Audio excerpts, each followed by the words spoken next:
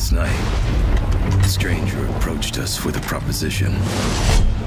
Claims he found the Clockwork City.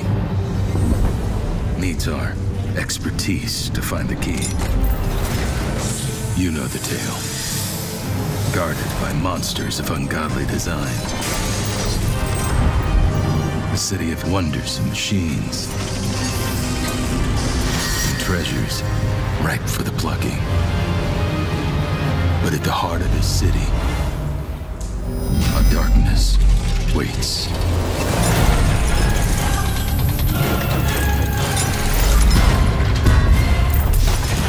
So what do you say?